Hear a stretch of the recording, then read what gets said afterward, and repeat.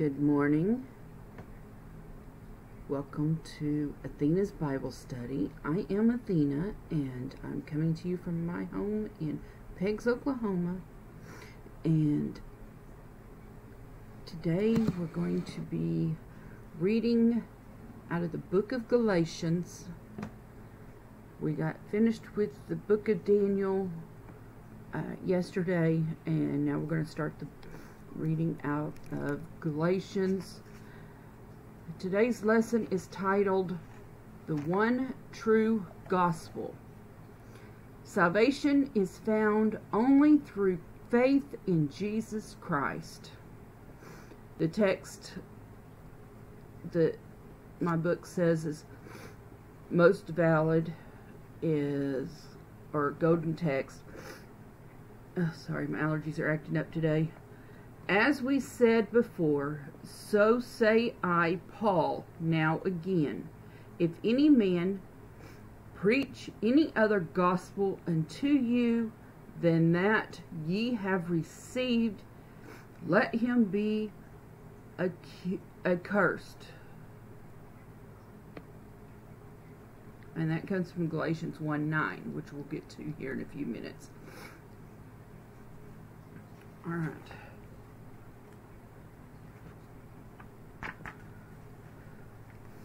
The lesson today. The Apostle Paul wrote to the Galatian Christians, I travail in birth again until Christ be formed in you, which is Galatians 4:19. Paul had brought the gospel to the Galatians, and now they were hearing a different gospel brought by false teachers who said they had to observe the ceremonies of the law of Moses to be saved. Paul was laboring to keep them from this evil.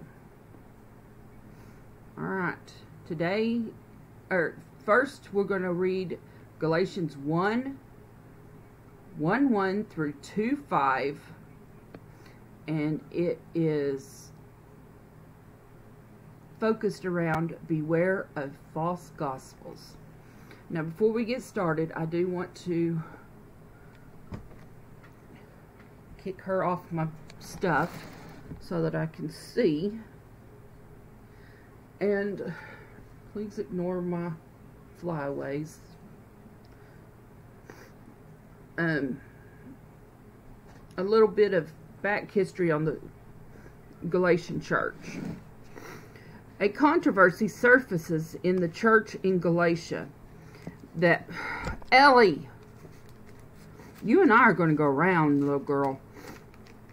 Some Jewish Christians insist that non Jewish Christians need to follow Jewish law and ritual in order to be true members of the church. The book of Galatians offers Paul's defense of the true gospel by warning against mixing legalism and religion or religious rituals with God's gospel of grace. With a feisty, hard hitting style, Paul reminds the believers to depend on Christ for salvation. He details the practical implications of living by grace and under the control of the Holy Spirit. Paul's letter to the Galatians explains what it means to be saved by faith alone. Paul defines what the gospel is, how it is received, and what applies to daily life. He is concerned about the temptation to please others. He reminds believers of their statue as co-heirs with Christ through God's grace. Paul carefully outlines the work of the law and of grace, of bondage and freedom, using Hagar, Hagar, Hag, Hagar and Sarah as examples. And he encourages believers to reflect God's character as they allow the fruit of the Holy Spirit to take root in their lives. What joy the book of Galatians brings as it makes it clear that we cannot be saved by keeping laws and rules, but we find salvation through faith in Christ alone. With the Holy Spirit working in us to instruct and guide us, we can live in faith, joyfully set free by the grace of God. All right. Galatians was written by the Apostle Paul. It was probably written sometime around 50 AD. Several cities ha have been proposed, including Antioch, Ephesus, and Macedonia. And it is where the fruit of the Spirit is located. 522 through 25. The fruit of the Spirit is love, joy, peace, patience, kindness, goodness, faithfulness, gentleness, and self control. Against such things there are no law. Those who belong to Christ Jesus have crucified the sinful nature with, the, with its passions and desires. Since we live by the Spirit, let us keep in step with the Spirit. All right.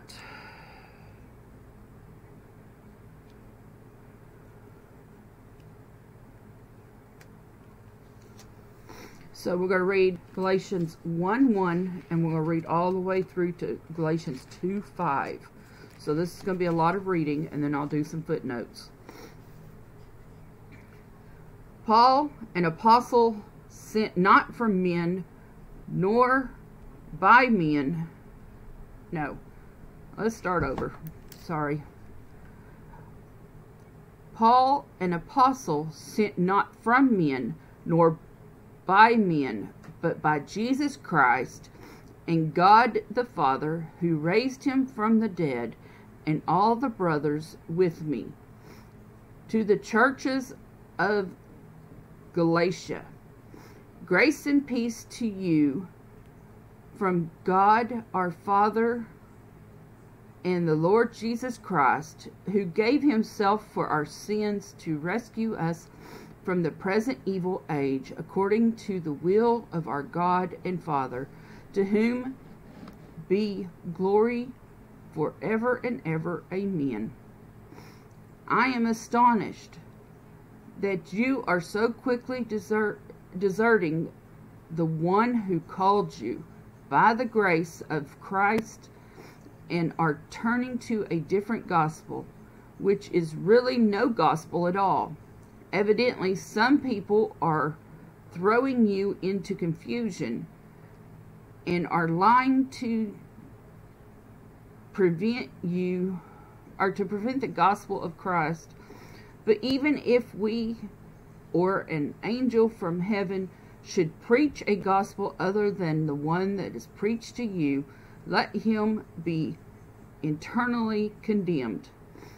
As we have already said, so now I say again, if anybody is preaching to you a gospel other than what you accepted, let him be eternally condemned. I or am I now trying to win the approval of men or of God? Or am I trying to please men? If I were still trying to please men, I would not be a servant of Christ. I want you to know, brothers, that the gospel I preach is not something that man made up I did not receive it from any man, nor was I taught it. Rather, I received it by revelation from Jesus Christ. For you have heard my previous way of life in Judaism, how intensely I persecuted the church of God and tried to destroy it. I was advancing in Judaism beyond many Jews of my own age and was extremely zealous for the traditions of my fathers.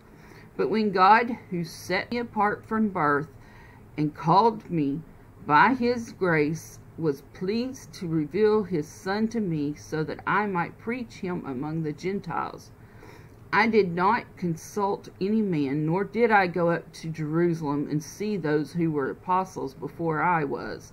But I went immediately into Arabia and later returned to Damascus. Then, after three years, I went up to Jerusalem to get acquainted with Peter and stayed with him for fifteen days.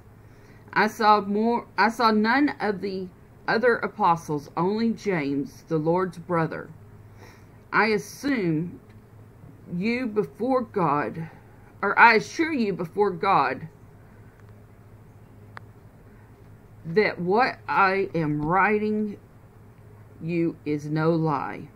Later, I went to Syria and Cilicia.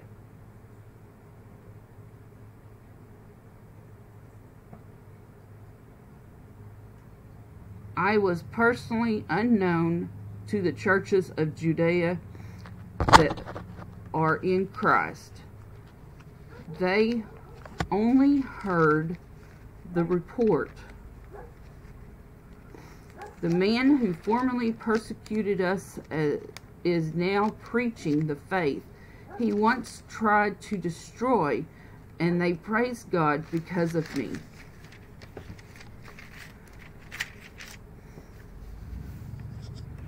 All right. Where are we going to? To five. Alright. Fourteen years later, I went up again to Jerusalem, this time with Barnabas. I took Titus along also. I went in response to the revelation and set before them the gospel that I preach among the Gentiles, but I did this privately to those who seemed to be leaders, for fear that I was running or had run my race in vain. Yet not even Titus, who was with me, was compelled to be circumcised, even though he was a Greek. This matter arose because some false brothers had infiltrated our ranks to spy on the freedom we have in Christ Jesus and to make us slaves. We did not give in to them for a moment, so that the truth of the gospel might remain with you. Let's go ahead and read some.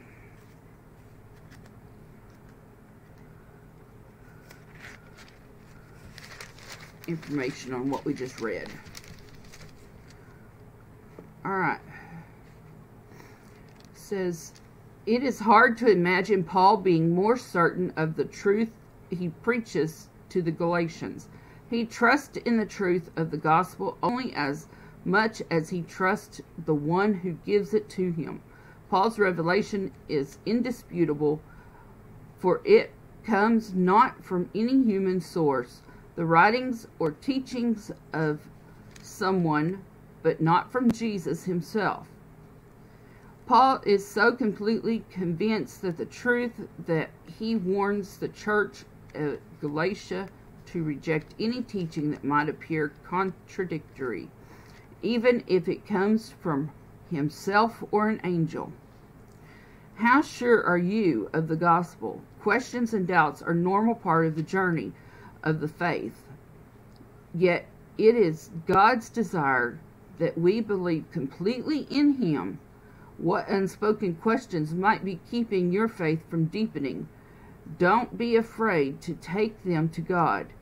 Go now and echo the prayer of the man who cried, I do believe. Help me overcome my unbelief.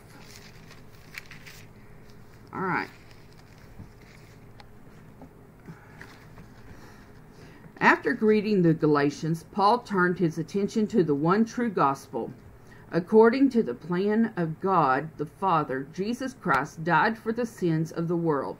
As a result, people can enter into a relationship with God that brings in this life and which begins in this life and extends beyond this life to eternity.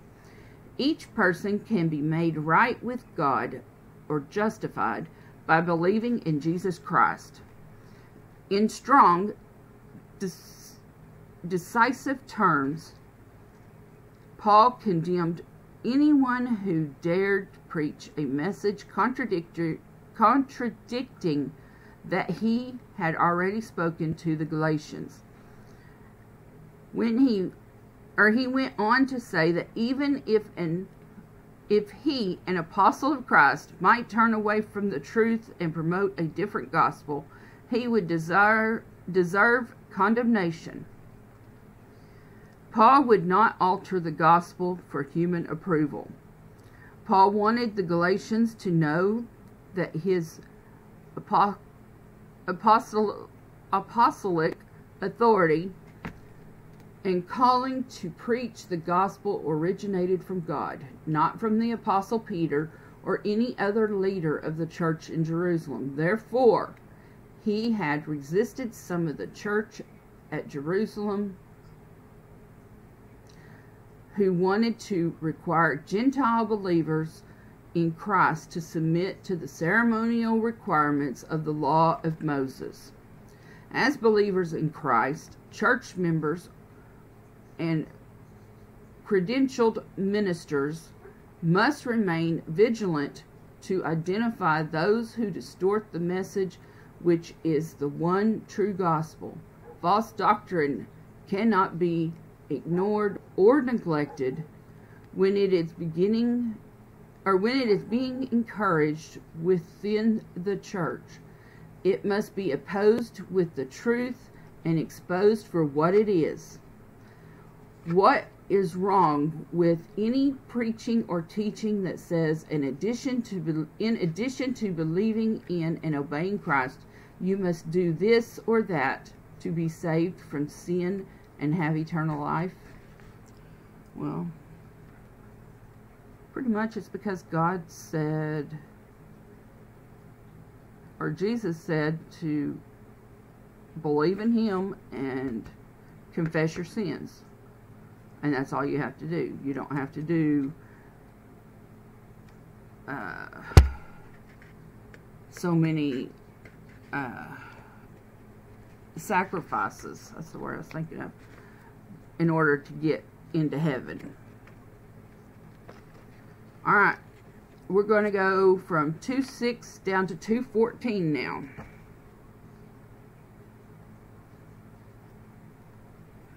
Let me make a little quick mark here. Over there, don't go too far. Alright.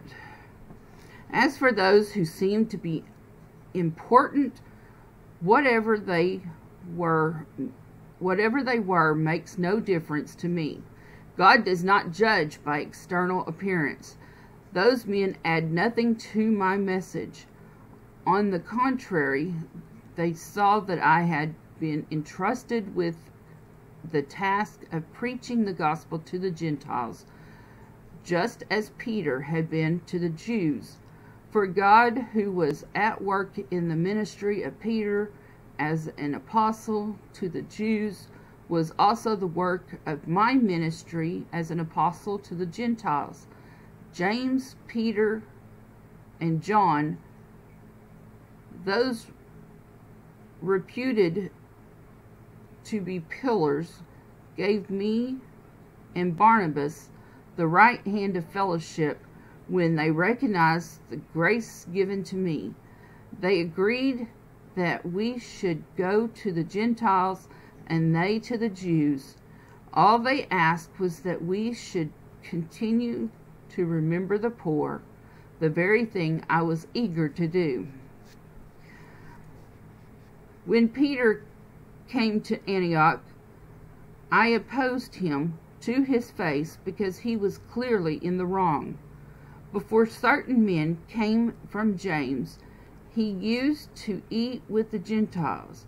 But when they arrived, he began to draw back and separate himself from the Gentiles because he was afraid of those who belonged to the circumcision group. The other Jews joined him in his hypocr- hypocrisy, so that by their hypocrisy, even Barnabas was led astray. When I saw that they were not acting in line with the truth of the gospel, I said to Peter in front of them all, You are a Jew, yet you live like a Gentile and not like a Jew. How is it, then, that you force Gentiles to follow the Jewish customs? All right. At times, Christians must be confronted because their words or actions contradict the message of salvation through Christ. Paul mentioned that the Apostle Peter was acting in a hypocritical, hypocritical way towards the Gentile believers in the church of Antioch in Syria. While they're visiting the church, so Paul rebuked Peter openly for his hypoc- hypocritical behavior. Years earlier, by means of a vision given to him by God, discussed in Acts 10 9 through 20, Peter had learned the necessity of proclaiming the gospel to the Gentiles and of accepting those who would believe in Jesus Christ as fellow believers.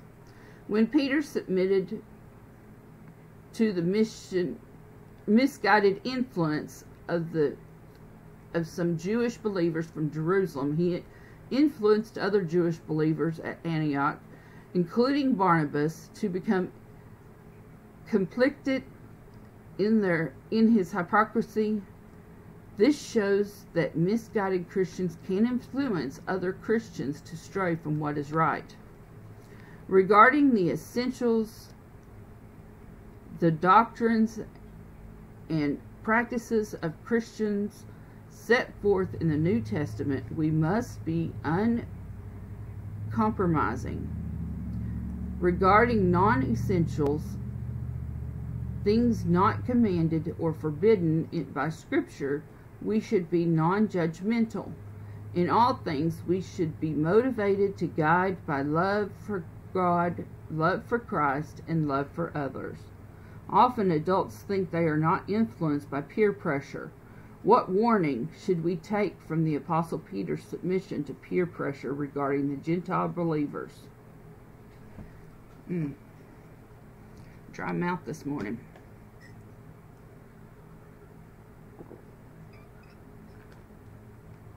Oh. Oh, excuse me about that. I had to get me a drink there. All right. Now we're going to read 15 through 21. Two, Galatians 2, 15 through 21. Where did we leave off? 14? All right.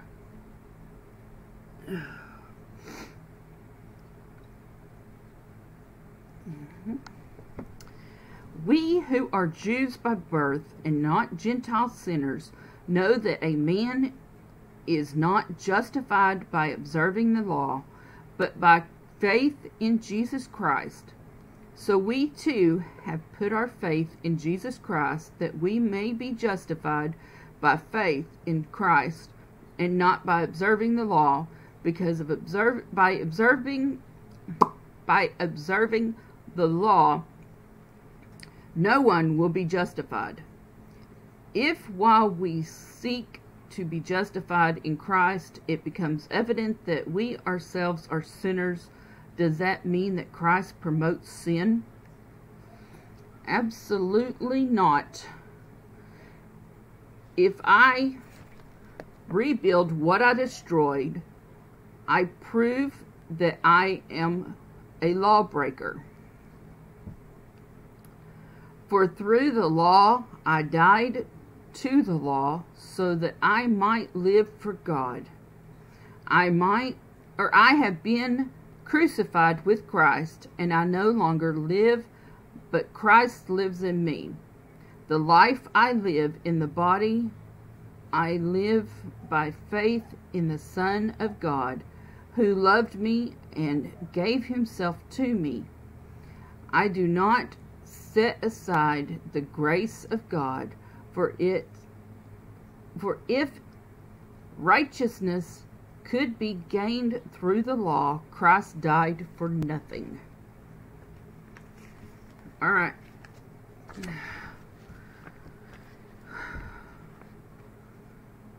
Salvation by the law, God's commandments, would require perfect obedience to the law, and no one except Jesus Christ has perfectly obeyed the law. Therefore, it is not possible to be saved by obeying the law. Far from being saved by the law, we are, in fact, condemned by the law of sin as sinners, because it exposes our sinfulness and sin brings death. The passage in Galatians 2:20 is one of the best known and more most often quoted verses in the New Testament because it describes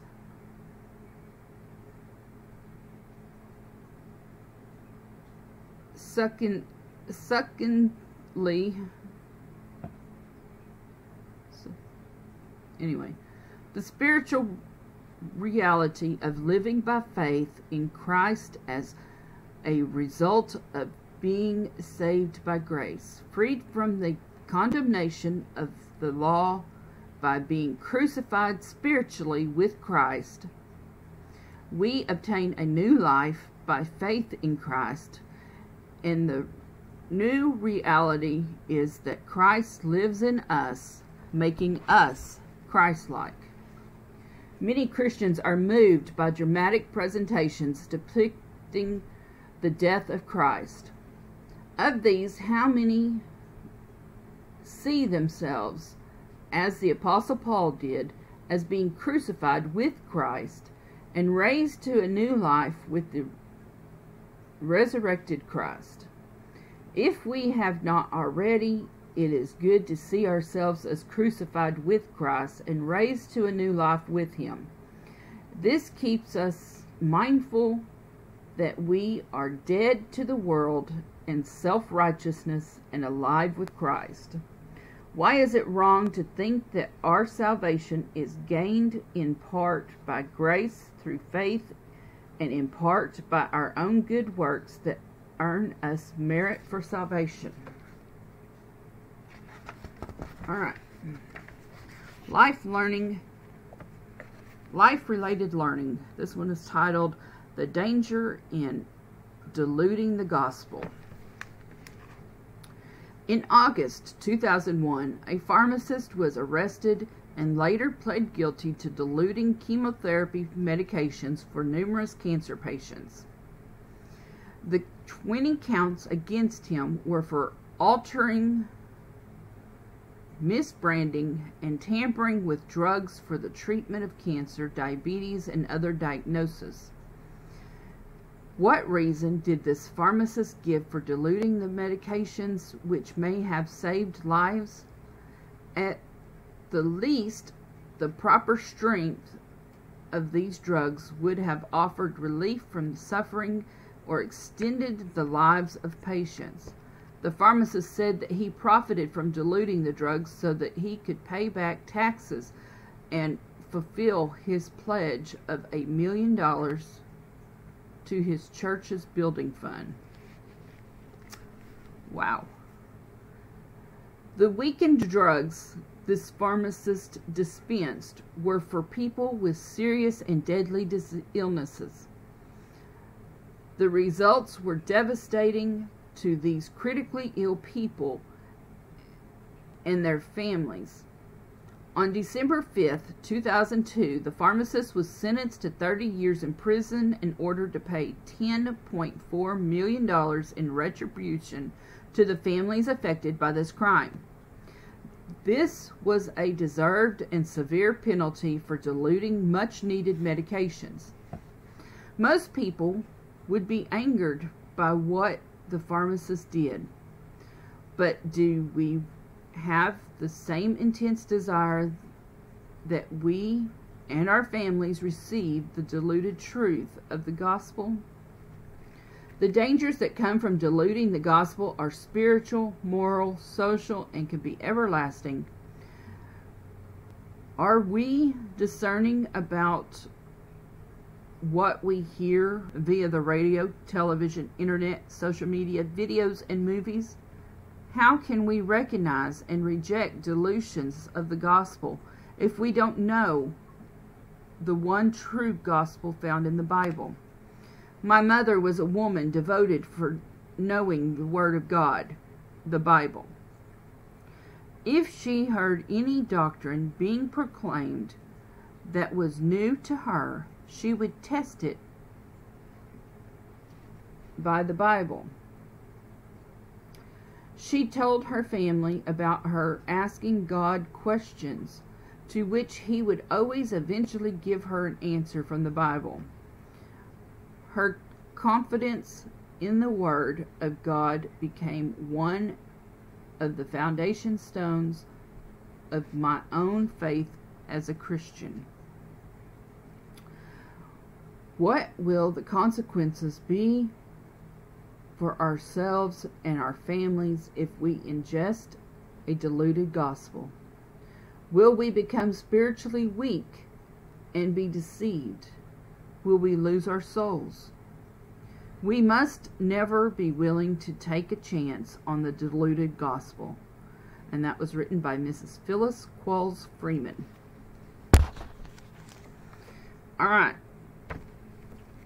Daily readings. Are we ready? All right.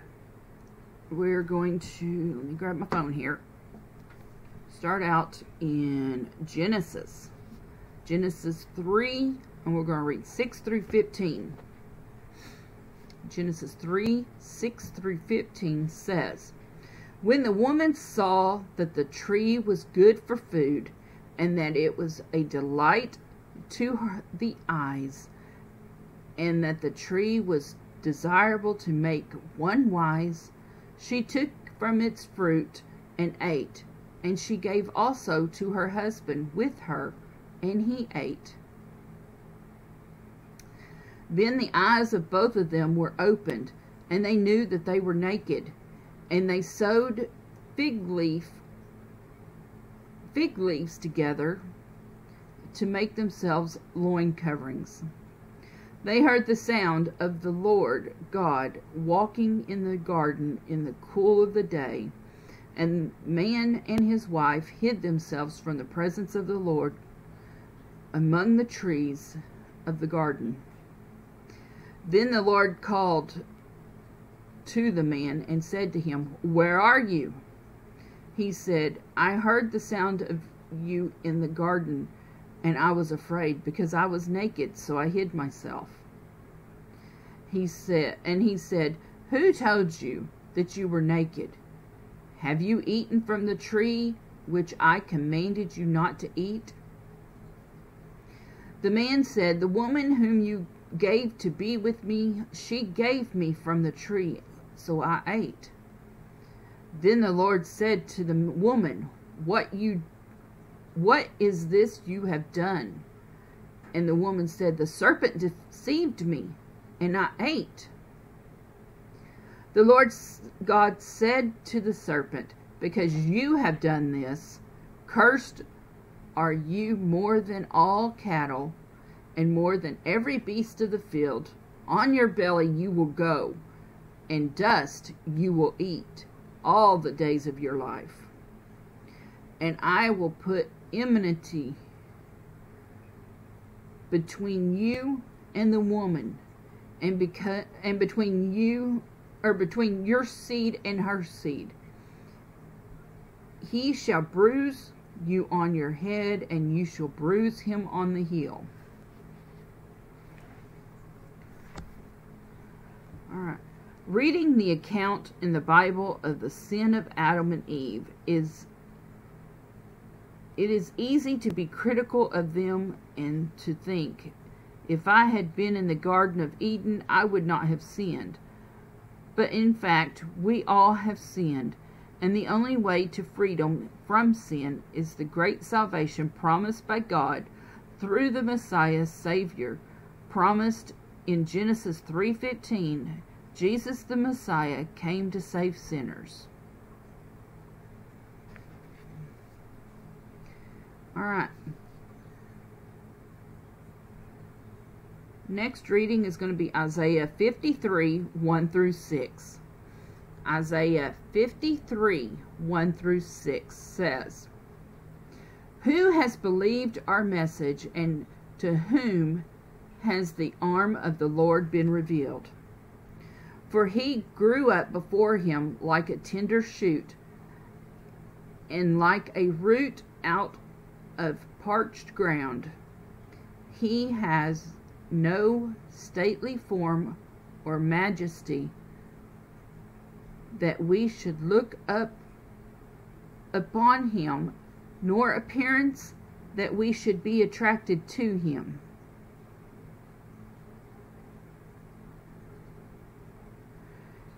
He was despised and forsaken of men, a man of sorrows and acquainted with grief, and like one from whom men hide their face. He was despised, and we did not esteem him. Surely our griefs he himself bore, and our sorrows he carried.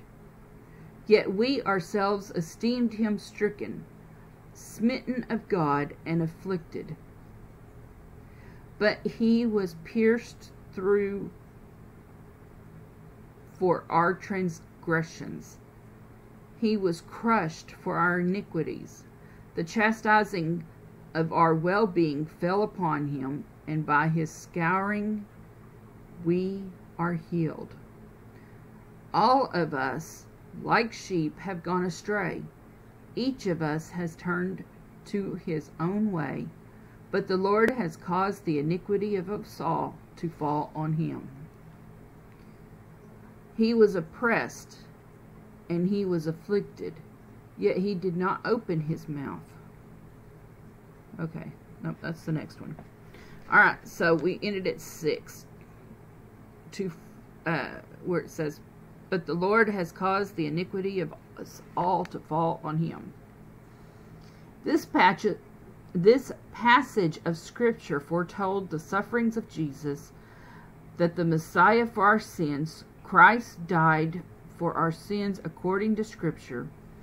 He had we or any others died for our sins, it would not have saved us from sin.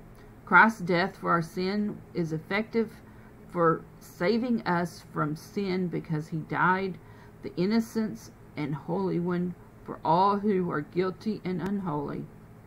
All right, we're going to continue in Isaiah 53 and we're going to read 7 through 12.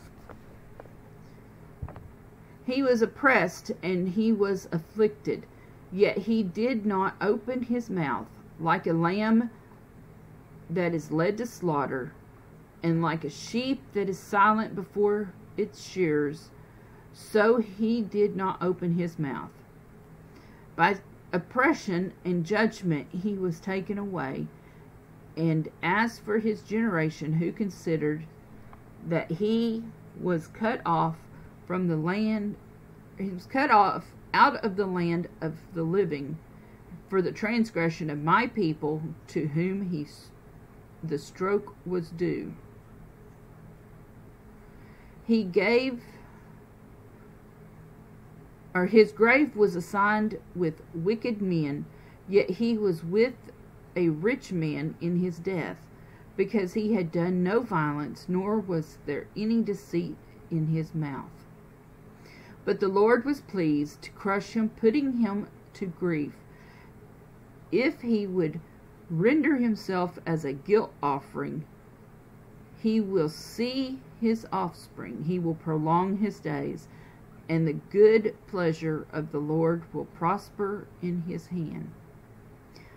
As a result of the anguish of his soul, he will see it and be satisfied but his knowledge and the by his knowledge the righteous one my servant will justify the many as he will bear their iniquities therefore i will allot him a portion with great with the great and he will divide the booty with the strong. Because he poured out himself to death and was numbered with the transgressions or transgress transgressioners. Transgressors there we go. Transgressors. And was numbered with the transgressors yet he himself bore the sin of many and interceded for the transgressors. All right jesus died on the cross a sacrifice for our sins that reconciles us to god.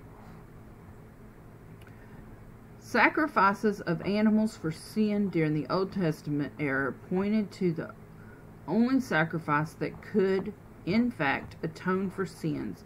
Christ's offering of himself on the cross is all sufficient sacrifice for our sins. God made Jesus a made Jesus' soul an offering for sin to save us from the penalty of sin.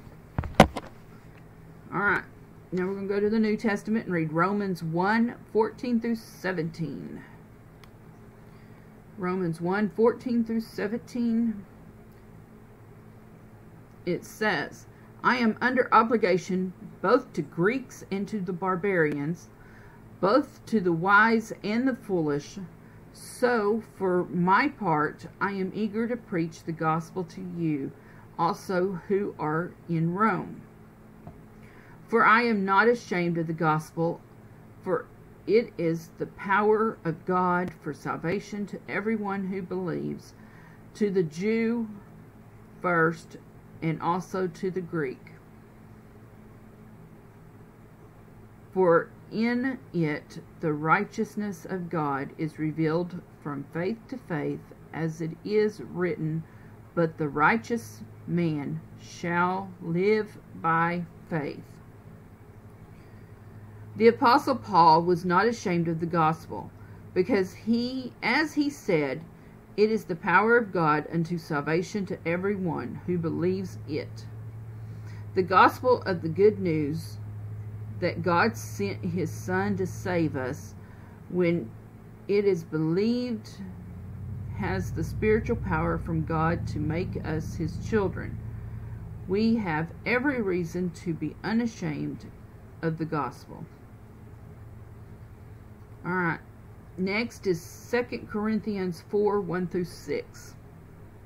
2 Corinthians 4 1 says, Therefore, since we have this ministry, as we received mercy, we do not lose heart, but we have renounced the things hidden because of shame, not walking in craftiness or adulterating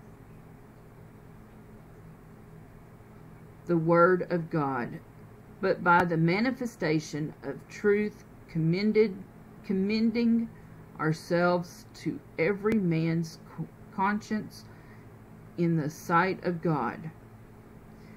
And if the gospel is veiled, it is veiled to those who are perishing, in whose case the God of this world has blinded the minds of the unbelieving so that they might not see the light of the gospel of the glory.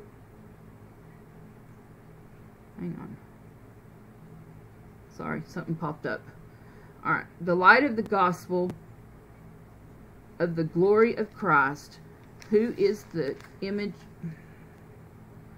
Thank you, little girl. You just, your head just messed up my thing. Alright, where are we? Alright.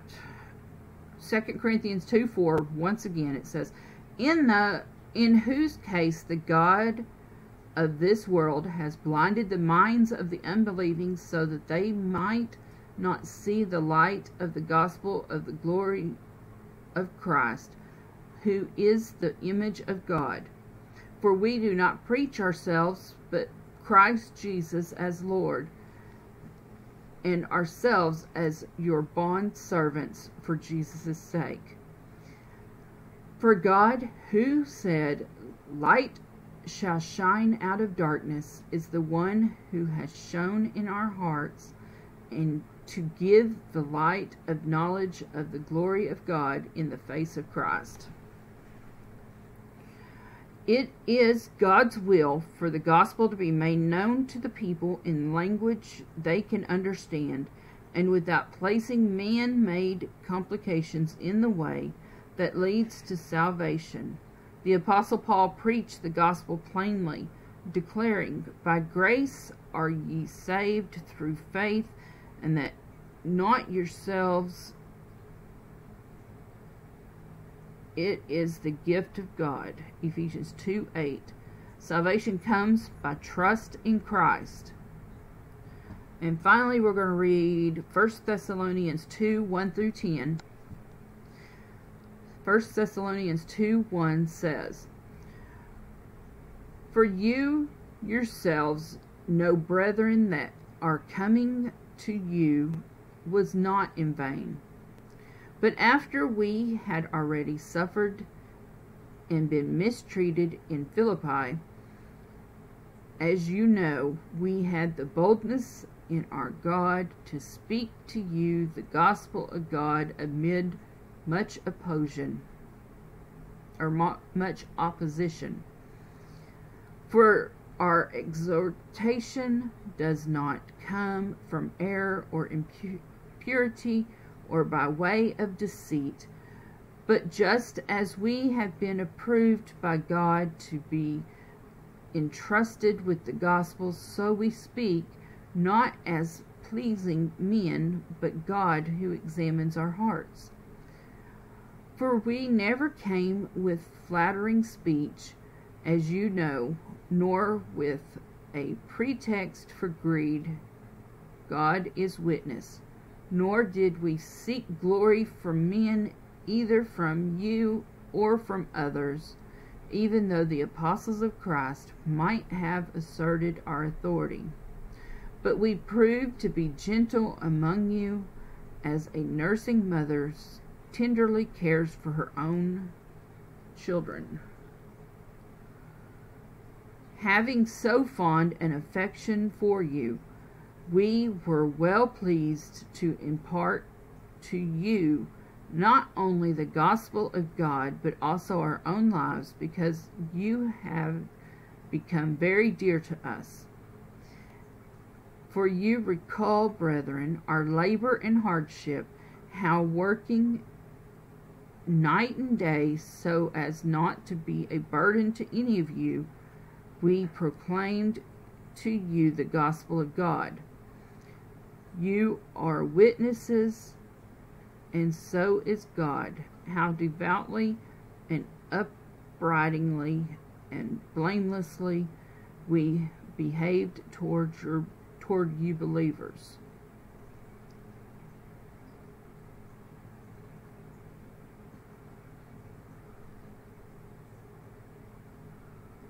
Make sure that's all. So, yeah. All right. The gospel must be proclaimed and taught as it is set forth in the New Testament, without adding to it or taking from it. Like the Apostle Paul, we must strive to please God in our presentation of the gospel. To please God in our presentation of the gospel, we must be true to the Lord Jesus and His Word, not only with our words, but also with our living. All right. So, that is what I have for you today. Let's take a peek over here tomorrow. Is going to be titled Live by Faith. Christians are called to live by faith in Christ. And that is what we're going to talk about tomorrow. So,